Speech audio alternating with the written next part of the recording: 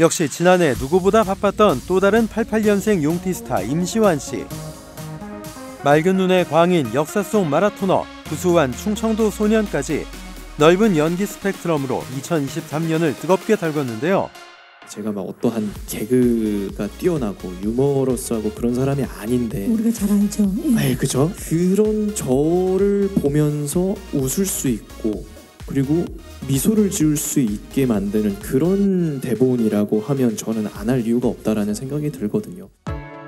궁금한 그의 그때 그 시절은 지금도 청량미를 한껏 내뿜지만 이보다 한껏 더 풋풋했던 10년 전. 영화 데뷔작 변호인으로 천만 배우가 된 뒤 연기에 목말라 했던 그때였죠. 어떤 작품이 들어오면은 감사합니다고 열심히 하는 신인의 입장이기 때문에 그리고 사실 제가 변호인 이후로 뭐 작품을 안 한 지가 1년이 벌써 지났어요. 뭘 하든 간에 열심히 하도록 하겠습니다. 송중기, 박보영 씨가 거쳐간 애니메이션 시리즈 더빙으로 목소리 연기에 도전했던 임시완 씨. 결정은 되기 쉬웠어요. 뭐 저한테 제의 들어오는 게 어려웠겠지만 이 그런 제가 과연, 과연 할 수 있을까 그런 생각을 하시는 게 어려웠겠지만 저는 결정은 되게 쉬웠습니다. 두 번 생각 안 하고 바로 하고 싶다고 얘기를 했었고 다행히 또 할 수 있게 돼서 정말 큰 영광이라고 생각합니다.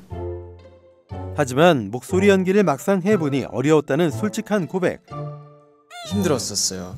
저는 더빙이 처음이었어가지고 사실 연기보다 어 얼굴도 나오지 않고 행동도 없고 그러기 때문에 목소리만 하면 되기 때문에 쉬울 거라고 생각을 했었는데 오히려 더 그것 때문에 힘들더라고요.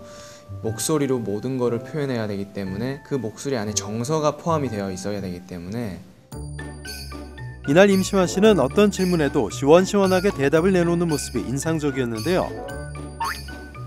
제 혈액형을 물어보면은 사람들이 A형이라고 많이 얘기를 해요. 근데 저 B형이거든요. 근데 A형이라고 말씀을 하시는 거 보면은 소심한 부분이 있어서 그래서 A형이라고 하지 않나 그런 생각이 드는데 글쎄요 어떤 부분 때문에 그런지는 잘 모르겠어요. 여기에 의외의 TMI까지 대방출. 저의 아내가 아내 아내 뭐 그 생긴다면 음. 저 바이올린을 한 어렸을 때 6년 동안 배웠거든요. 네. 좀 바이올린으로 좀 색다른 매력을 어필을 할 수 있지 않을까. 오. 엉뚱하다, 진지하다, 유쾌하다 다양한 매력을 어필했던 신인 배우 시절의 임시완 씨.